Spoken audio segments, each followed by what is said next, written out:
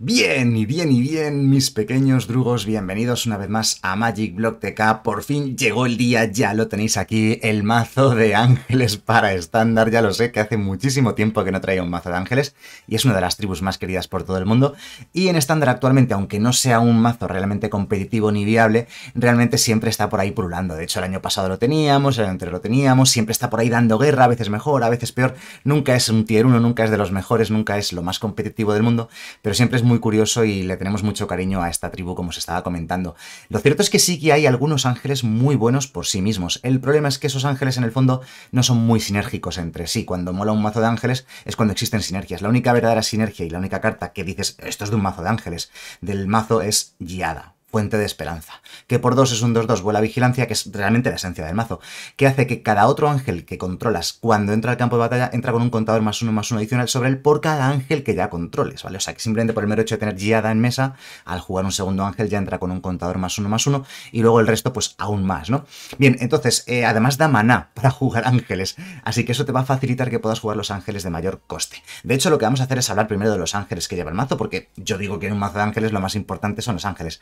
Así que por eso comenzamos con Giada. El mazo, por cierto, es tetracolor, ¿de acuerdo? Aunque las cartas que veis son de tres colores, azul, blanco, negro, podríamos pensar que es una Esper, realmente lleva un cuarto color que es el color rojo, que ahora, ahora, ahora hablaremos del, bueno, vamos a hablar ya de él, hablemos del siguiente ángel, el Arcángel de la Ira, que por 4 es un 3-4, vuela vínculo vital. No está mal sus estadísticas, vuela vínculo vital por 4 y 3-4 no está mal del todo, pero lo importante son sus dos estímulos, negro y rojo, y por eso el mazo lleva también un cuarto color, que es el color rojo, para poder hacer dos daños adicionales a cualquier objetivo. Y y además, como la criatura tiene vínculo vital, esos dos daños van con vínculo vital incorporado. O sea, es decir, vas a ganar dos vidas. Si pagas 6 de mana por este Arcángel de la Ira, vas a hacer eh, cuatro daños, bueno, dos y dos, y vas a ganar esas cuatro vidas directamente según lo juegues. Contra mazos de criaturas pequeñas, o incluso para matar algún Planeswalker, o incluso para sellar una partida, estaría genial, maravilloso.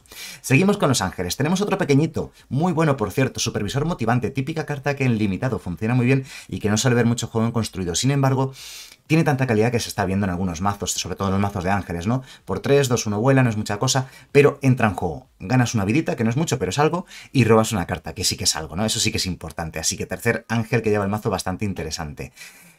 Cuarto tipo de ángel que lleva el mazo, ejemplar de Serra, sin duda una de las mejores cartas de Dominaria. Está teniendo bastante juego, eh, mucha gente lo comparó con el Lurrus cuando apareció, y bueno, es cierto, tiene un, tiene un aire al Lurrus, eh, lo que pasa es que, bueno, esto es un ángel, por 4, 3, 4 vuela, directamente no es un compañero ni nada de eso, y te permite jugar desde el cementerio permanentes de coste 3 o menos, que vuelven al juego con un cuando mueran ganas dos vidas, y luego ya se exilian si van al cementerio de nuevo. En cualquier caso sigue siendo bastante bueno, y en este mazo, lógicamente, pues va a la perfección.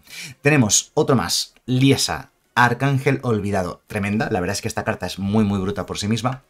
Quiero que nos toquen mazos de criaturas, ¿vale? O sea, monoreds, eh, Grulagro, eh, Mono White, mazos, mazos, agresivos de criaturas te los vas a comer porque tienes tantas criaturas tan grandes y con vínculo vital que no van a poder hacer nada contra ti. El problema va a ser si nos enfrentamos a control.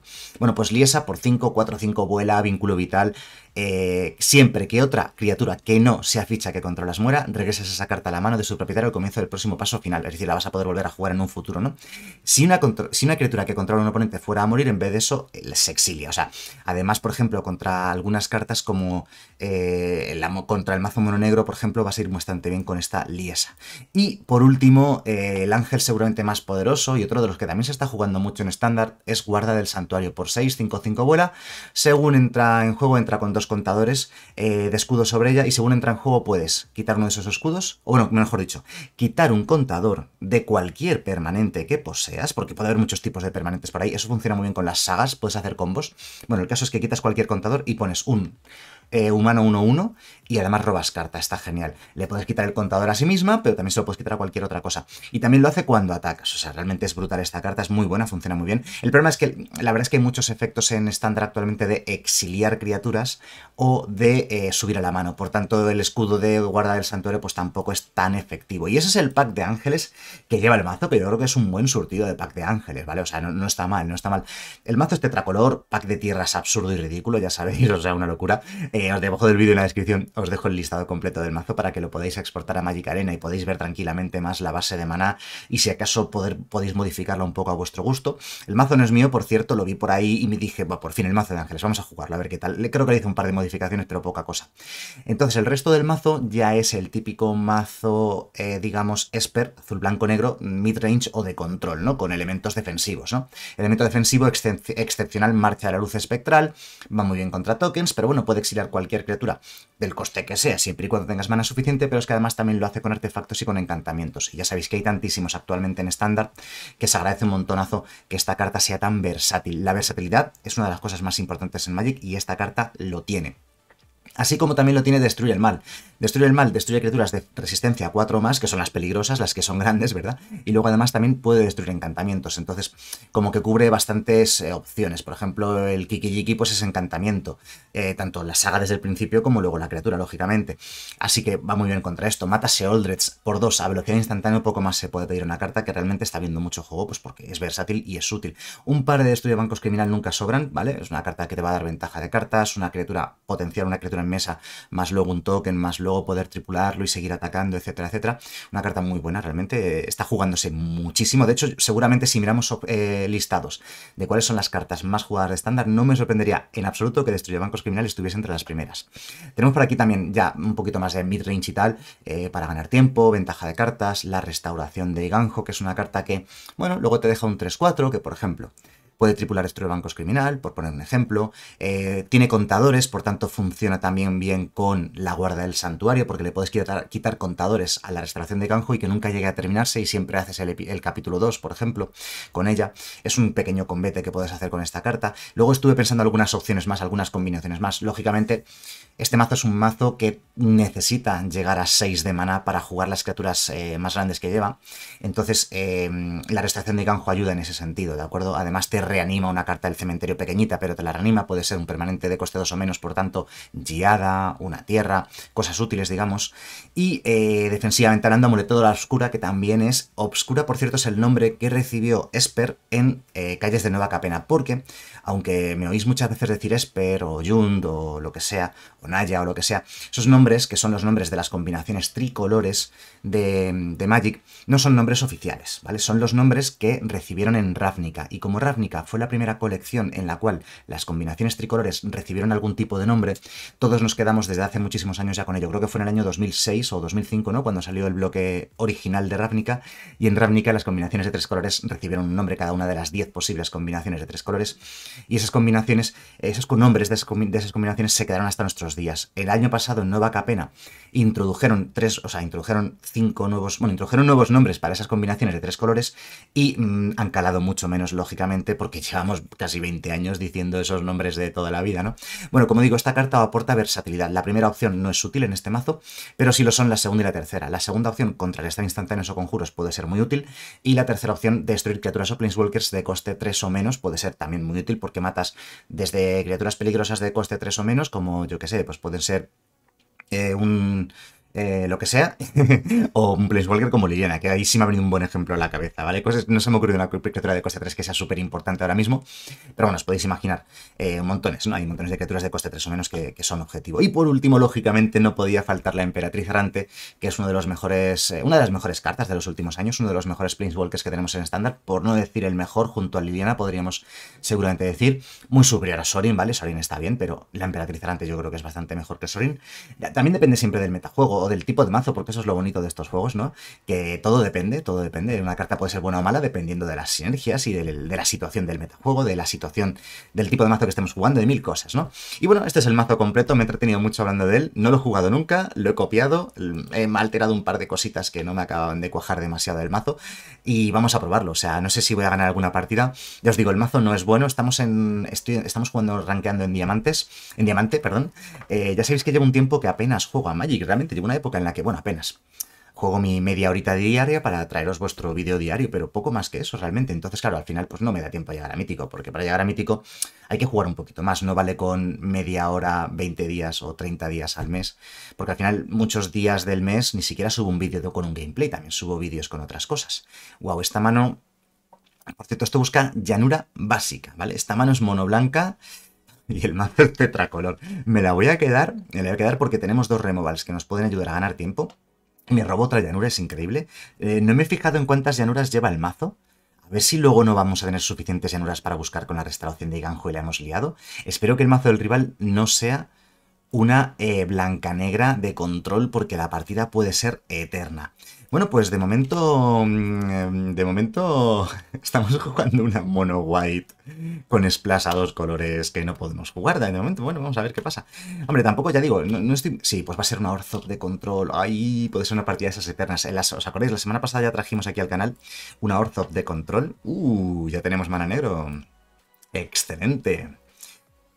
Bien, además vamos a buscarnos llanura y en el segundo capítulo de la restauración de Ganjo nos descartaremos esa llanura para que... Uf, quedan solamente dos más.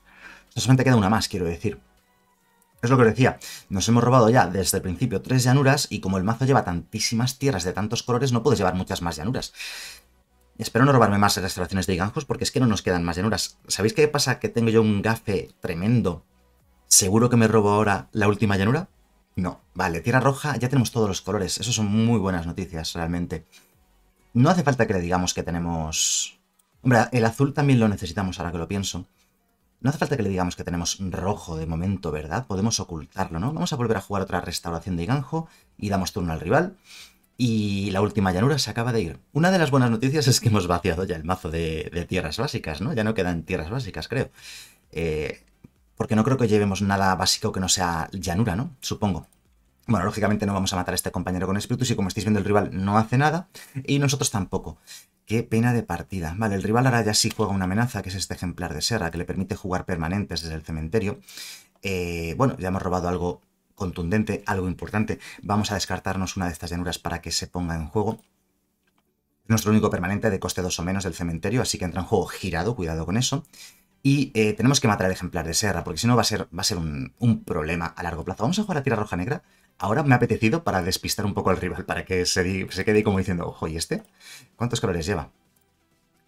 Por cierto, estuve pensando eh, que este mazo, al llevar tantísimos colores, podría llevar la línea esa de las la línea mística o el encantamiento ese de coste 6 que tiene dominio y que al final lo juegas por uno. Dije, bueno, pues metemos alguna tierra también, algún trioma de esos que da tres colores que de verde, que de hecho ya llevamos alguno en el mazo, eso sí me fijé antes, y ya está, ya tenemos todo el combo, ¿no? Tenemos todas las Em, todas las posibilidades en este mazo. Tendríamos la posibilidad de llevar incluso, como digo, el encantamiento ese, que es muy bueno y funcionaría muy bien, yo creo.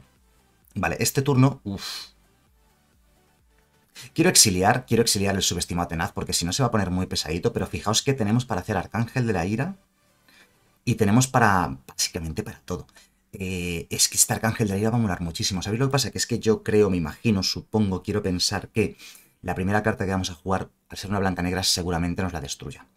Así que vamos a empezar con Guarda del Santuario, que le va a decir hola, buenas tardes a nuestro oponente. Obviamente eh, vamos a quitarle un contador, que se quede con uno de escudo, pero robar carta eh, y poner un token 1-1 siempre va a ser útil.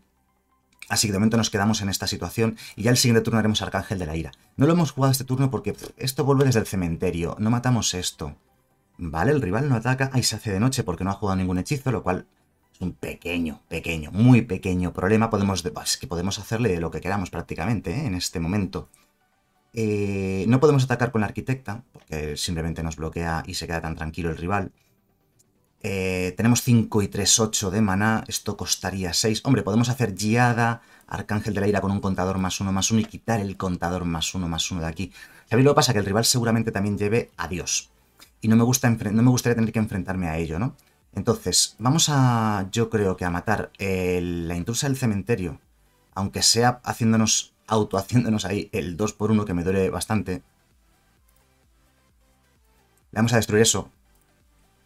Es así, es, la carta es muy buena, ¿vale? O sea, esa carta es así buena. Y nos vamos a quitar de la mano... Yo diría que la guiada a estas alturas eh, no la necesitamos, ¿no? Y además es una carta la guiada que podemos recuperar desde el cementerio con algunas de nuestras cartas, ¿no? Así que bueno, pues ahí se va. Entonces ahora sí, ahora ya sí me animo y ataco con las dos. De modo que si el rival hace algún tipo de doble block, que no lo veo imposible, que nos haga doble block la arquitecta de la restauración, ay, me la, tendría que haber esperado y esto no contrarresta, más que instantáneos y conjuros. De todas maneras no teníamos azul para jugar además el amuleto de la oscura, con lo cual nos exilia la hora del santuario de la cual no vamos a poder quitar el contador, porque ya no va a estar en mesa cuando eso ocurra. Y aquí, bueno, pues, ¿qué le vamos a hacer? Nos la ha liado un poquito el rival. Podemos matarle ahora a esta emperatriz errante también, ¿eh? si queréis. No creo que bloquee.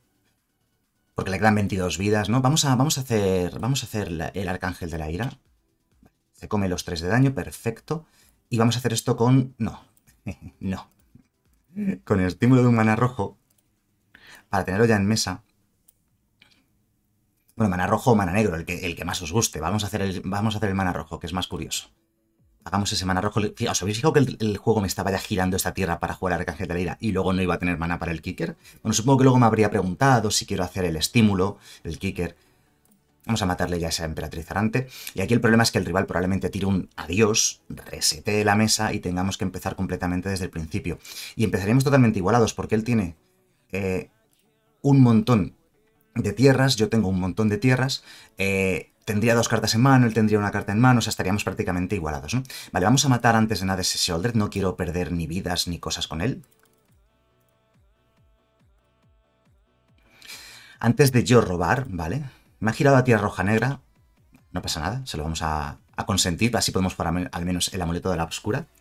Robamos eh, carta del turno, otra tierra, pase principal, vamos a jugar tierra de turno, y yo diría, yo diría que no está mal del todo.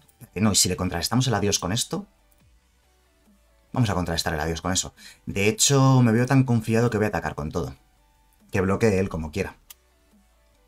O sea, tiene un par de bloqueos. Bueno, tiene un bloqueo obvio, ¿no? Que es con el subestimado tenaz. Ha hecho el doble bloque al final. Vale, me vale. Me vale porque al fin y al cabo matamos sus dos criaturas, ¿de acuerdo? Ya no van a estar en medio molestando todo el rato y eso. Sí que es cierto que va a poder intentar jugar desde el cementerio el subestimado tenaz, pero tenemos en mesa 6 de daño, 6 de ataque, digamos, y a él le quedan 14 de vida. Y tenemos aquí un counter que vale millones, ¿no? Ese counter. Otra intrusa, el cementerio, carta molesta, qué molesta es, ¿verdad? Ahí le da una vidita. En cuanto él empiece a no jugar cartas en su turno, o yo en el mío, que también puede ocurrir que no juegue nada, como es el caso. Vamos a ciclar esto, ¿eh? Necesitamos un poquito de acción. Vale, ya jugamos carta este turno. Eh, nos va a costar muchísimo ganar pegando de 3 en 3, pero bueno, es, lo que hay, la vida es así, la vida es dura. Jugamos esta guiada básicamente con el objetivo... Estaba girando el mana azul en este caso, bueno, los yermos de Adarkar tampoco era tan grave, porque teníamos dos generadores de azul, pero a veces el juego, eh, cuidadito con esto, te gira las tierras para evitar que pierdas vidas, ¿no? Esa guiada se muere, pobrecita para evitar que pierdas tierras. Obviamente esto lo guardo para una carta más poderosa, como que nos tire adiós, ¿vale? El rival está jugando una Ortho Midrange, ¿vale? Por cierto, que al final no sabía muy bien a qué nos enfrentábamos. Parece que es una Ortho Midrange, ¿vale? Si no juega ahora ninguna... no bloqueamos.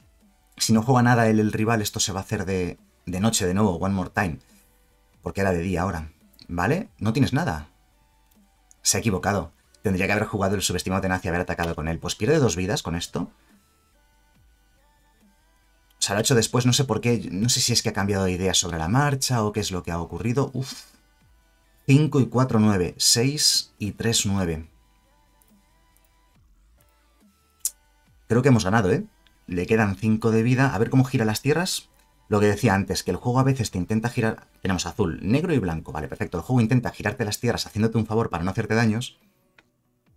Le quitamos el contador para robar carta y poner token 1-1. Damos turno y contrarrestamos tu adiós, que es la única carta que le salva. Un adiós, que exilie todo y tal pero tenemos una respuesta a ello. Daba igual la respuesta porque al final igualmente habríamos ganado esta partida tan complicada contra una Orzop. Eh, no era de control porque llevaba muchos elementos así eh, de, muchas criaturas, mucha interacción, muchas formas de, ¿no? Eh, las intrusas, la emperatriz, los subestimados tenaces, incluso hasta compañero con espíritus. Esta carta es la que más te indica que no es un mazo puro de control, sino que es un mazo que, bueno, pues intenta poner permanentes en mesa, robar cartas, atacar con criaturitas poquito a poco, ¿no? O sea, es lo que se llama un mazo midrange en pura en, estado puro, ¿no?